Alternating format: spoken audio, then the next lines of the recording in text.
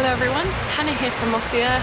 I'm here in the Scottish Highlands where we... So yeah, this is Hannah, and it was at this moment, after a long day of tree planting, that the Scottish rain got the better of her camera. We'll return to her once she is nice and dry, because first I want to tell you about why she's out there. So, Hannah is a biologist with us at Mossy Earth, and her task is figuring out how to use the money from our membership to help make Scotland wilder.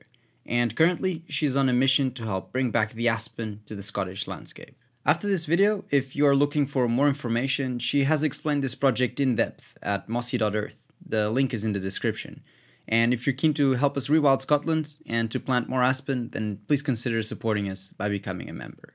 Historically, aspen used to be one of the most abundant trees in Britain, with a long history in local culture.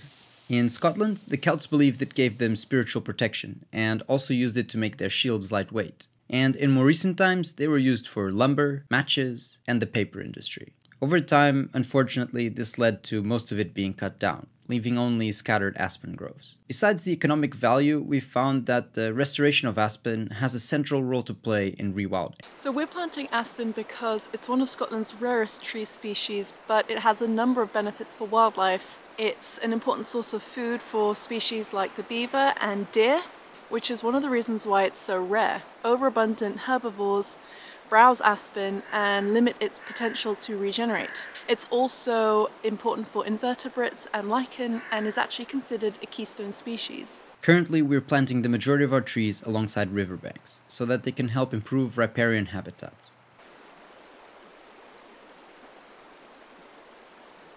Trees planted in the riparian zone help stabilize the riverbanks add nutrients to the water and crucially create shade. In the face of climate change, Scotland's rivers are warming and this is detrimental and even lethal to wildlife such as the Atlantic salmon. This season we planted another 2,195 aspen, one for each Mossy Earth member, and we hope to grow this number significantly for next year. However, our focus is also on assisting the regeneration of existing aspen groves. So as well as planting aspen saplings, we're trying to help existing trees naturally regenerate. We're doing this by planting thorny shrubs immediately next to young regenerating saplings in the hope that this will deter deer from browsing on the saplings and help them establish and grow into mature trees.